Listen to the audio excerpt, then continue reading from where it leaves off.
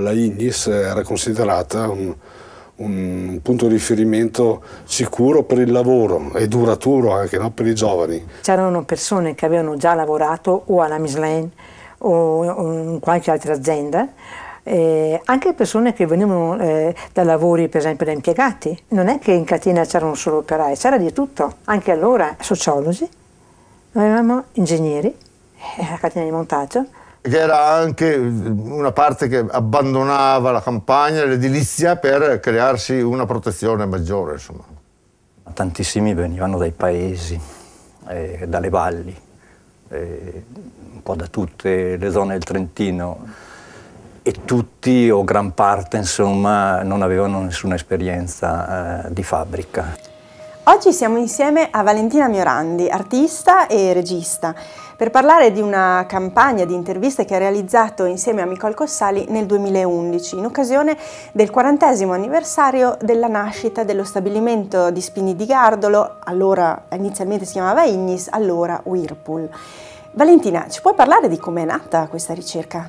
L'interesse mio di Nicole Cossali si è intrecciato all'interesse della Fondazione Museo Storico del Trentino e a quello del Comune di Trento, per eh, fare una raccolta di interviste a, a, persone che hanno lavorato in una fabbrica che ha attraversato gli anni decisivi della storia dell'industria trentina.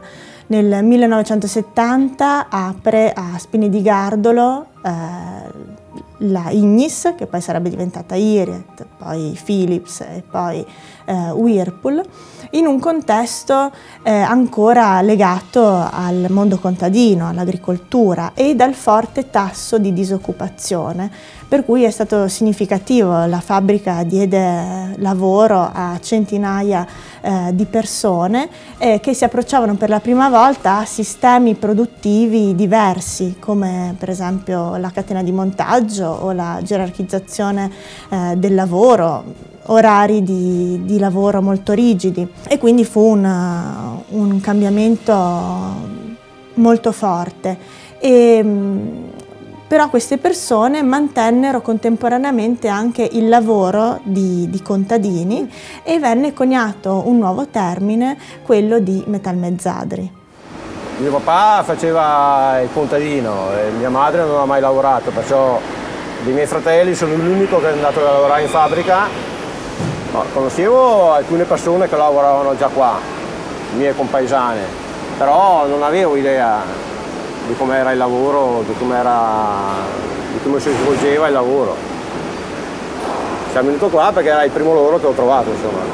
Dato che i turni erano dalle 6 alle 2, dalle 2 alle 14, ricordo che arrivavano la mattina alle 8 e avevano, molti di questi avevano imbandito un tavolo con, con la mortadella, con il pane, con eh, il vino.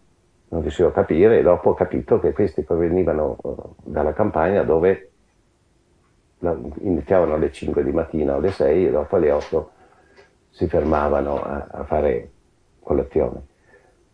Dopo, me spiegando la cosa, alla fine sono, si è capito anche perché poi c'era la pausa mensa e queste cose qui. Mentre altri giovani che provenivano da Varese, questi erano stati già abituati per sei mesi, otto mesi, un anno a Varese e insomma loro erano oramai anche abituati per quello che riguarda la eh, cultura industriale eh, della, della, popolazione del Trentino all'epoca, eh, curiosamente qui eh, è stato coniato un, eh, un termine eh, che è quello di metalmezzadri. I nostri operai venivano per una buona parte definiti metalmezzadri, noi lo dicevamo scherzosamente, perché molti di loro eh, in maniera del tutto particolare eh, quelli che eh, vengo, venivano e vengono dalla Val di Non hanno mantenuto un'attività eh, storico-familiare eh, nell'agricoltura e sono venuti a lavorare in fabbrica.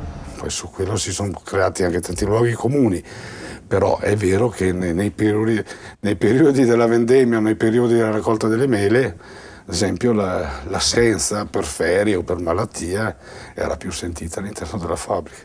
Molti di questi avevano la vigna a casa, facevano contadini, uva, vino e qualcuno di questi faceva anche, e forse lo fa ancora, la grappa, distillava la grappa a casa e ogni tanto qualcuno veniva e mi portava il campione di grappa da analizzare per vedere se era a posto oppure no.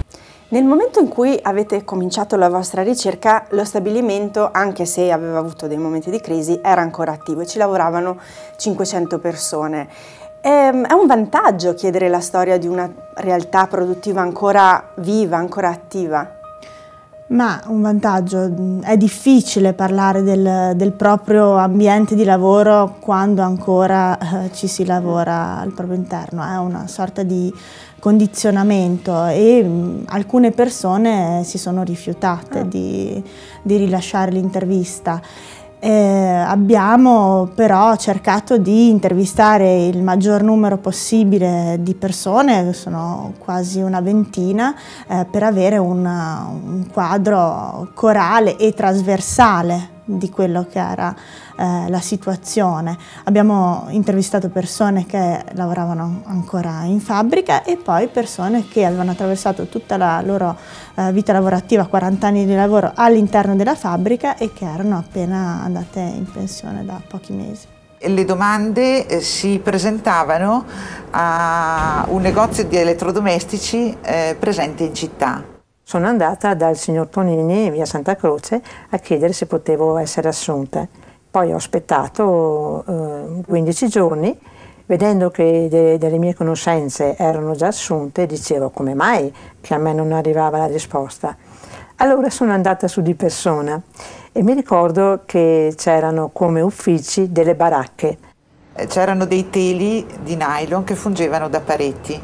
Se succedeva che in quei giorni pioveva, eh, capitava che all'interno, dietro a questi teli, ci trovavamo l'acqua proprio per terra. Io sono arrivato in fabbrica alla IRET nel luglio del 1970, esattamente il 15 luglio. Avevo terminato da poco le scuole professionali e ero stato in precedenza lì per chiedere se c'era appunto possibilità di lavorare solo che quando mi ripresentai al termine degli studi nel frattempo erano spariti gli incartamenti perché c'era stata una tromba d'aria, qualcosa del genere, che aveva portato via materiale che avevano in baracche di legno esterne alla fabbrica e quel giorno che mi sono presentato c'erano altre persone che entravano per lavorare, quindi ne ho assunte e mi sono infilato sostanzialmente anch'io tra queste e mi hanno preso. A Spini di Gardolo, nel comune di Trento, inaugurato il nuovo stabilimento delle industrie riunite eurodomestici dal ministro dell'industria senatore Gava e dal ministro delle partecipazioni statali onorevole Piccoli. Lo stabilimento, già perfettamente in funzione, è stato creato con la partecipazione paritetica dei gruppi Ignis e Philips. Dopo il saluto di un operaio a nome delle 800 unità impiegate attualmente nello stabilimento, il ministro Gava ha portato il saluto e l'apprezzamento del governo per questa nuova realizzazione di due grandi industrie europee. Gli ingegneri Frederick Phillips e Giovanni Borghi fanno da guida alle autorità durante la visita ai vari imponenti settori del complesso industriale. Per ora, come dicevamo, sono occupate 800 unità tra operai e impiegati, ma l'assorbimento di personale è destinato a aumentare progressivamente con l'installazione di nuovi impianti, sia per lo sviluppo quantitativo della produzione, sia per l'estensione della gamma di apparecchiature elettrodomestiche. I ministri Gava e Piccoli si sono intrattenuti con gli operai interessandosi alle lavorazioni e ai processi produttivi. Lo stabilimento di Trento è un esempio importante dello spirito di fattiva collaborazione di grandi complessi industriali nel processo di unificazione economica dei paesi europei.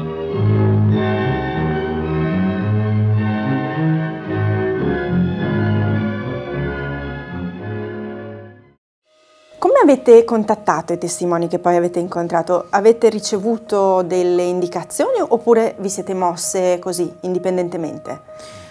Sì, dato che era anche un interesse della fabbrica stessa quello di raccogliere interviste, inizialmente ci sono stati dati dei nominativi. Siamo partiti da quelli, però poi ovviamente conoscendo le persone e entrando più in contatto ci si sono poi aggiunte una persona a catena, una tira l'altra, ti dice eh, che magari quella persona ha un certo punto di vista e quindi potrebbe raccontarti quel fatto piuttosto di un altro. La cosa che secondo noi è stata fondamentale è stata proprio la costruzione della fiducia, per cui quando appunto sei in un ambiente anche difficile, parli di tematiche complicate, eh, devi spiegare, devi, devi, devi, trasmettere le intenzioni alla base del progetto proprio perché le persone si possano affidare e sappiano che eh, la testimonianza poi eh, ha un certo tipo di approccio e di, e di, tematica. E quindi siete andate nello stabilimento?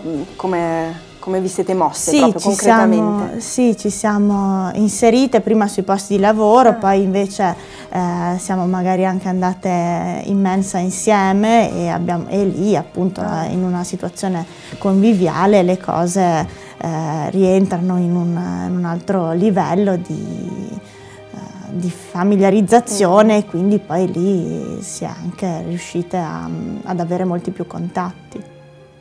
Io il montaggio non l'ho fatta tanto, ho fatto solo due anni, i primi due anni e chiaramente avevo 18 anni, allora eh, la prendevi come un'avventura. Sicuramente se vai in linea di montaggio più che tanta esperienza non serve, serve più la voglia di lavorare più che altro.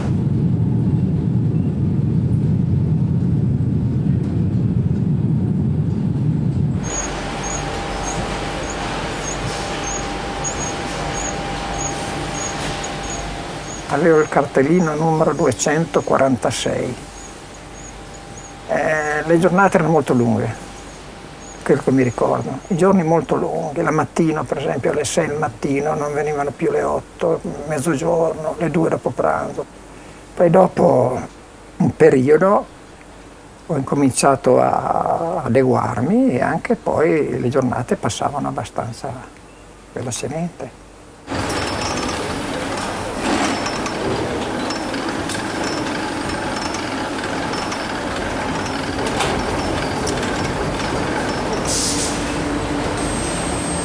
L'impatto è stato abbastanza forte, insomma, no? sia per eh, la, la, la, vastità dello stabilimento, sia per il numero degli operai che c'erano dentro, sia per il modo come era organizzato il lavoro, la rumorosità.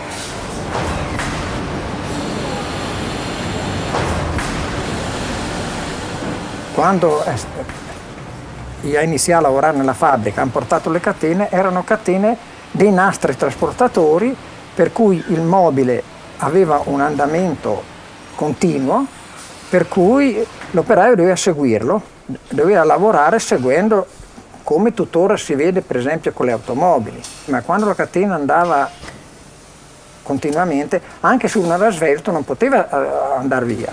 C'era un attrezzo in ferro, una specie di, di tubo eh, spaccato a metà, veniva inserito così su, sulla serpentina con un manico col quale lo si teneva, si reggeva e poi si trattava di avvolgere un capillare chiamato così, un filo di, di rame per cui l'operazione era avvolgere 10-12 volte questo filo, poi togliere il ferro, spostare il pezzo, prenderne un altro e avanti così per tutta la giornata.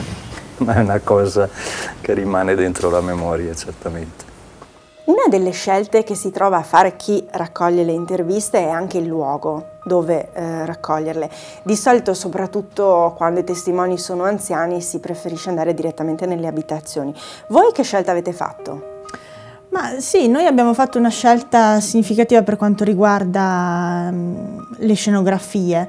Eh, abbiamo pensato per esempio di intervistare tutti, tutte le persone che non lavoravano più nella fabbrica con uno sfondo ehm, come una sorta di tazzebao, mm. quindi questo mezzo di comunicazione legato a quegli anni di, di lotta e quindi abbiamo proprio composto con articoli di giornali e grandi scritte eh, questa, sì, un vero e proprio tazzebao, quindi le persone raccontano eh, della loro esperienza personale e poi dei fatti eh, storici legati alla fabbrica con questo sfondo. Poi invece le persone che lavoravano ancora all'interno della fabbrica eh, impiegate e impiegate negli uffici mm. e eh, operai invece proprio sul posto di lavoro, anche per rendersi conto del, dell'ambientazione della persona stessa, cioè di come eh, la persona lavori tutto il giorno in un ambiente simile. Vedendo la possibilità che esiste qua davanti a questa piazza di concludere, realizzare i nostri diritti, invito tutti i nostri cittadini, non solo sul diritto dell'industria, no, come diritto operaio, ma bensì come diritto cittadino, ossia la vita che dove condurre, asilo, scuole, lavoro, affitti, trasporti, per noi queste, scusate la, l'agitatezza che ho in corpo, sarò anche concluso, perché sono troppo entusiasmo a sentire tra vari amici tutte queste belle cose, ma noi siamo ancora troppo divisi, non siamo organizzati. No. Questo momento prendere inizio da questa riunione qua, di avanzare le nostre pro proposte reali e voleria concludere perché anche, torno a ripetere, sono troppo, non sono portato a fare questi discorsi anche perché qua vergogna non è il mio posto qua. E dico perché in piazza vedo una massa di persone scontenti dalla, dai sistemi della nostra società che per quello che vale il diritto dell'operaio non è solo abbastanza per portare avanti la protesta, no? ma dobbiamo basarne sui sistemi di vita, solo questo lo dobbiamo portare avanti, perché il lavoro troveremo sempre, i diritti se noi lavoriamo li avremo automaticamente, scusate il termine, ma è i sistemi di civiltà che dobbiamo avanzare sotto forma di protesta. Scusate. La storia dello stabilimento di Spini si colloca anche proprio pienamente in quella che è la storia dei conflitti degli anni 70, penso ai conflitti per i diritti sindacali dei lavoratori, ma anche in generale proprio i, diritti, i movimenti sociali di quegli anni. Ehm, ci sono anche degli eventi piuttosto drammatici e anche forse un po' scomodi, problematici nella, nella storia di Spini. Eh, penso ad esempio in particolare proprio a quella del 30 luglio del 70, quando alcuni esponenti del movimento sociale italiano, quindi di destra, erano fuori dalla fabbrica, ci fu uno scontro e addosso a questi militanti vennero trovate delle armi. Questo generò una, ancora una, una crescere, un crescere di tensione e, e, poi vennero scortati da Spini di Gardolo fino a, a, Piazza Duomo con un grande corteo che ha documentato da molte immagini. Ecco, come avete affrontato con i testimoni queste pagine un po' oscure della storia della fabbrica e poi come le avete raccolte? Sì, essendo un fatto così problematico, forte, difficile, mm. eh, abbiamo pensato di stampare le fotografie originali e darle in mano ad uno dei testimoni che eh, sfogliandole racconta i fatti, mm. quindi creando questa svolta narrativa, un diverso modo di, di raccontare. Eh, poi l'accaduto è mh, mm, poi descritto maggiormente con altre testimonianze che ricostruiscono tutto il tessuto dei gruppi di militanza legati al sindacato e poi ai gruppi politici di allora.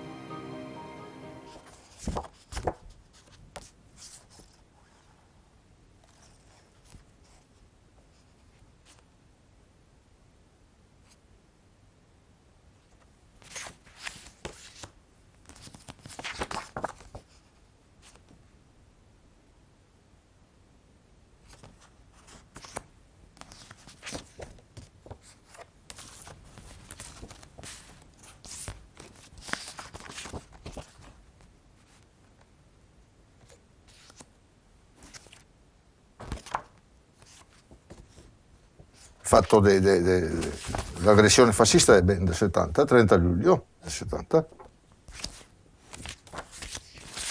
quando gli è venuti con, da Bolzano, da eh, Belluno, da Verona, da Bologna, con le bombe a carta e le catene, che sta la collusione, e noi facevano il muro umano per non farli entrare in fabbrica.